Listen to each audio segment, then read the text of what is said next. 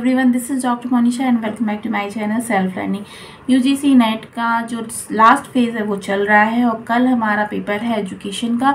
तो आज इस वीडियो में मैं बहुत ही क्रिस्प वे में बहुत इंपॉर्टेंट जो टॉपिक हैं लास्ट मिनट रिवीजन के, वो मैं आपको बताने वाली हूँ। तो बहुत ज़्यादा पैनिक होने की ज़रूरत नहीं है। अगर आपने जो कुछ भी पहले से पढ़ रखा है, उसको आपको अब सिर्फ़ रिवाइज करना है, क्योंकि कल शिफ्ट वन और शिफ्ट टू दोनों में ही आपका एग्ज़ाम है। तो ऐसे कौन कौन से पॉइंट है पूरे सिलेबस में से, जिनको आपको लास्ट मिनट में एक बार ज़रूर देख लेना है। उसके बारे में ये नहीं है कि हम उसके उसको छोड़ दें या बिल्कुल भी उसके बारे में ध्यान ना दें। और अगर आपने पहले से पढ़ा भी है तो उसको एक बार ज़रूर रिवाइज़ करना है। तो बिना देरी किए आज का वीडियो हम स्टार्ट करते हैं कि हमें क्या क्या इस आ, लास्ट मिनट की प्रिपरेशन में करना है। तो आप सभी का लास्ट मिनट में रिवीजन करने के लिए मैं भी ये वीडियो बना रही हूँ। तो को क्या क्या चीज़ें हैं जो पढ़ के जाना है? तो देखिए Indian school of philosophy and western school of philosophy में सांख्य योग वेदांत, इनकी जो मेन मेन पॉइंट्स हैं, उनको आप एक बार रिवाइज कर लीजिएगा। आगे बढ़ जाएँ हम contribution of western school of philosophy में। वेस्टर्न स्कूल में जो रियलिज़म है आइडलिज़म है नेचुरलिज़म है, इनको आपको बहुत ध्यान से एक बार पढ़ना है। इनके मेन मेन जो की कॉन्सेप्ट हैं, उनको आप पढ़ लीजिएगा। इसके बाद में सिम्बॉलिक ये सोशलॉजी का जो एजुकेशन में जो कॉन्ट्रीब्यूशन है, उसको आपको ध्यान से पढ़ना है, जिसमें आपको देखना है इनकी थ्योरीज और जो एजेंसीज हैं, उसके बारे में आपको एक बार पढ़ना है। इनसे रिलेटेड क्वेश्चन ज़रूर आता है। ठीक है सोशलाइजेशन ऑफ़ एजुकेशन सोशलाइजेशन में आप देखिए, इनका जो मेन बात है विवेकानंद हो गए, रविनाथ टैगोर हो गए जय कृष्ण मूर्ति हो गए, प्लेटो हो गए, ये जो जितने भी फिलोसोफर्स हैं, इनके जो मेन पॉइंट है इन इनकी फ़िलासफ़ी का जो मेन पॉइंट है, उसको एक बार आप रिवाइज कर लेना। आगे बढ़ जाए हम history and politics of education ठीक है? इकनॉमिक्स ऑफ़ एजुकेशन में। इनमें आपको ये सारी कमेटीज़ जो हैं कोठारी कमीशन ये सब कुछ बहुत ध्यान से पढ़ लेना। इनको तो बिल्कुल भी छोड़ने की ज़रूरत नहीं है और बहुत ध्यान से एक बार आप याद कर लीजिए बिफोर इंडिपेंडेंस आफ्टर इंडिपेंडेंस कौन कौन सी पॉलिसीज़ थी आ, क्या क्या उनके वर्क थे इनको आपको ध्यान से पढ़ना है ठीक? के बाद में आ, मैं लास्ट में जो रिवीजन है उसके बारे में ही बता रही हूँ आपको। Relationship between the politics and education में आ, ये जो थ्योरीज़ हैं ये लिबरल कंजर्वेशन वाली थ्योरीज़ हैं बिहेवियरिज्म वाली थ्योरीज़ हैं पॉलिटिकल सोशलाइजेशन है इसको आपको ध्यान से पढ़ना है। चलिए ये तो ठीक है आप पढ़ लेंगे। लेकिन मैं बताऊँ जो बहुत ही आ, श्योरली क्वेश्चन पूछने वाला क्वेश्चन है। ग्रोथ एंड डेवलपमेंट का जो क्वेश्चन है प्रिंसिपल्स ऑफ़ कॉग्नेटिव प्रोसेस वाली फ्राइड की थ्योरी कार्ल रोजर्स की गोल्डन अल्पोर्ट की मैक्स वर्दमर कोफका इन सब की जो थ्योरीज़ हैं, इनको आप बहुत ध्यान से पढ़ लीजिएगा। ज़रूर इसमें से क्वेश्चन आपको पूछा जाएगा। ठीक है?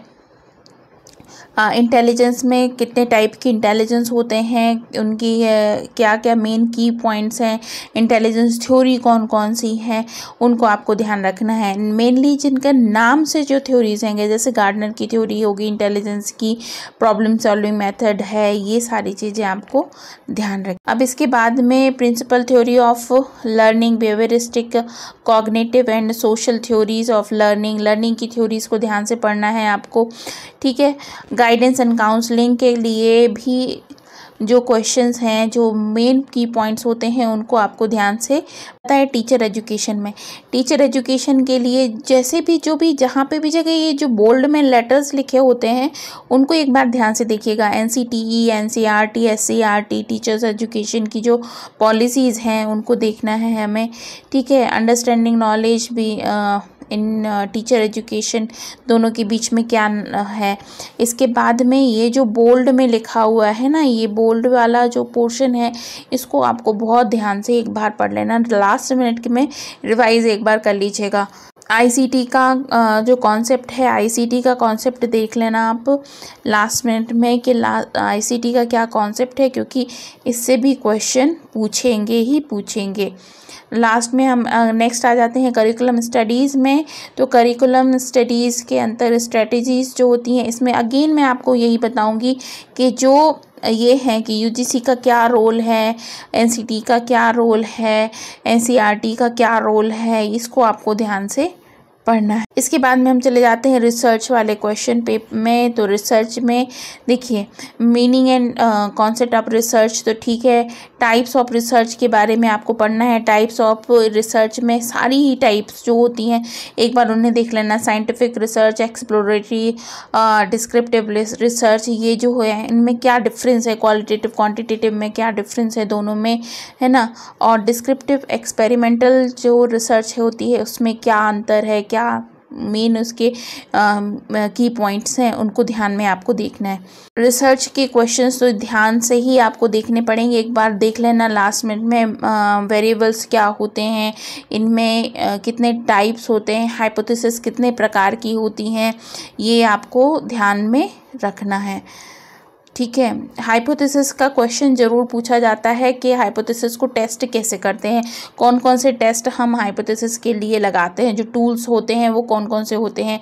ठीक है, इसके बाद में वैलिडिटी रिलायबिलिटी से एक क्वेश्चन ज़रूर पूछा जाता है। वैलिडिटी रिलायबिलिटी क्या होती है? इस पर ध्यान में आपको रखना है। ठीक है तो ये आपको टेस्ट वाली हाँ जो रिसर्च वाली यूनिट है, उसको, उसमें इतना आपको पढ़ना है। ठीक है।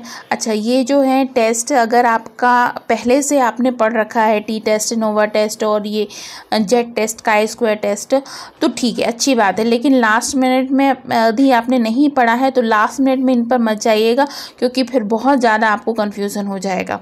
ठीक है क्वालिटेटिव क्वान्टिटेटिव रिसर्च के बारे में ज़रूर पढ़ लेना, क्योंकि वो थ्योरी है। एक बार आपने अगर पहले पढ़ रखा है तो आपको एक बार पढ़ने में ही सारे कॉन्सेप्ट क्लियर हो जाएँगे। नेक्स्ट पैडागॉजी एंड्रागोजी से बहुत प्रश्न पूछे जाएँगे। ये आप मेरे से लिखवा लीजिए क्योंकि um, आपको पैडागॉजी क्या है एंड्रागोजी क्या है इसके मेन पॉइंट्स पता होने चाहिए। दोनों में क्या समानताएँ हैं क्या डिफरेंस है बहुत ही क्लियरली आपको ये चीज़ पता होनी चाहिए। ठीक है? असेसमेंट वाले क्वेश्चन कॉलम में चले जाएँ हम तो असेसमेंट वाले कॉलम में भी बहुत सारे ही प्रश्न पूछे जाएँगे। मीनिंग एंड नेचर एंड सबसे बड़ी बात होती है टाइप्स ऑफ़ असेसमेंट होते हैं जो उनके बारे में आपको ध्यान से पढ़ना है। क्या डिफरेंस हुए हैं क्या आ, सुधार होते गए हैं असेसमेंट की फ़ील्ड में उसको एक बार आप ध्यान से पढ़ लीजिए। फिर लास्ट में हम सेकेंड नेक्स्ट यूनिट में आ जाते हैं टेक्नोलॉजी एंड एजुकेशन तो अगेन टेक्नोलॉजी एंड एजुकेशन के ईटी डिसिप्लिन आईसीटी का क्या रोल है? ठीक है? और इसमें भी जो स्किनर, प्याजे, बर्नर और बायोगॉस की जो प्रिंसिपल है टेक्नोलॉजी में, वो क्या उन्होंने बताया है, वो आपको ध्यान से पढ़ना है। अगर आपने पहले से पढ़ रखा है तो उसमें इस इसी यूनिट में जो नेक्स्ट पार्ट है, उसमें आप चले जाइए। ये जितने भी ये बोल्ड लेटर में जो भी दिया हुआ होता है, जिसके बारे में अलग से सिलेबस में पॉइंट दिए गए हैं, उसको आपको ध्यान से एक बार देख लेना है। इमर्जिंग ट्रेंड में इमर्जिंग ट्रेंड वाला, यदि ये आपने ये यूनिट पहले से पढ़ रखी है तो इसको एक बार रिवाइज़ कर लीजिए। नहीं पढ़ रखी है तो फिर इसके बारे में अभी सोचने की ज़रूरत नहीं है। Education management administration and leadership जो है इसमें आपको देखना है एजुकेशनल मैनेजमेंट एडमिनिस्ट्रेशन में जो मीनिंग एंड प्रिंसिपल्स होते हैं वो ध्यान में रखना है। इसके बाद नेक्स्ट आगे जाते हैं मीनिंग एंड अप्रोचेस ठीक है, ये यूनिट ऐसी है कि अगर आपने पहले से पढ़ी है तो ठीक है, नहीं पढ़ी है तो अब इस पर ध्यान देने की ज़रूरत नहीं है। आपने जो पहले से पढ़ रखा है, उसी को एक बार आप अच्छे से रिवाइज़ कर लीजिए। ठीक है इंक्लूसिव एजुकेशन ज़रूर पढ़ लेना क्योंकि सिंपल भी है और इससे क्वेश्चन भी बहुत पूछे जाएँगे, है ना? तो इंक्लूसिव एजुकेशन का का मेन जो कॉन्सेप्ट है, वो क्या है? कब इसकी स्टार्टिंग हुई? कब इसकी बात कही गई है? नेशनल पॉलिसी ऑफ़ एजुकेशन 86 में इसकी बात कही गई है, ठीक है? और जो जितने भी ये सन दिए हुए हैं ईयर दिए हुए हैं, इसका इनका क्या रोल है इंक्लूसिव एजुकेशन में, इसको आपको ध्यान से देखना है।